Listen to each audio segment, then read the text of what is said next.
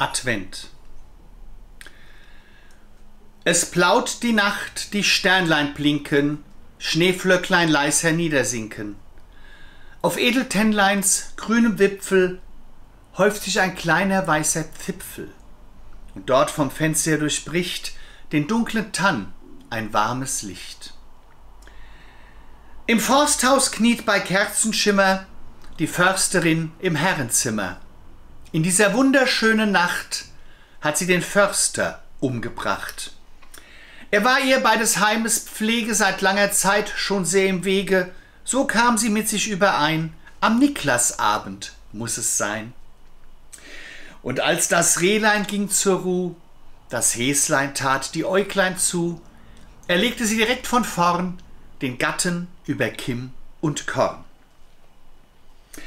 Vom Knallgeweck trümpft nur der Hase zwei, drei, viermal die Schnuppernase und ruhet weiter süß im Dunkeln, derweil die Sternlein traulich funkeln.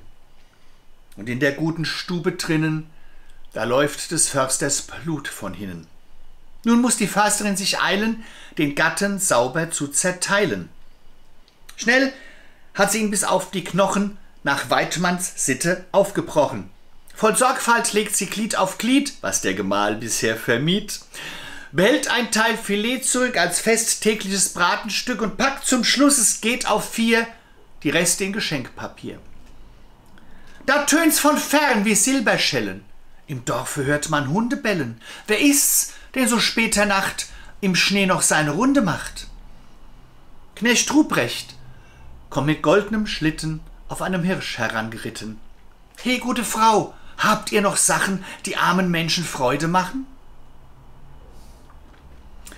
Des Försters Haus ist tief verschneit, doch seine Frau steht schon bereit.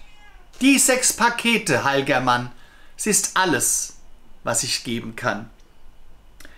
Die Silberschellen klingen leise, Knecht Ruprecht macht sich auf die Reise. Im Försterhaus die Kerze brennt, ein Sternlein blinkt. Es ist Advent.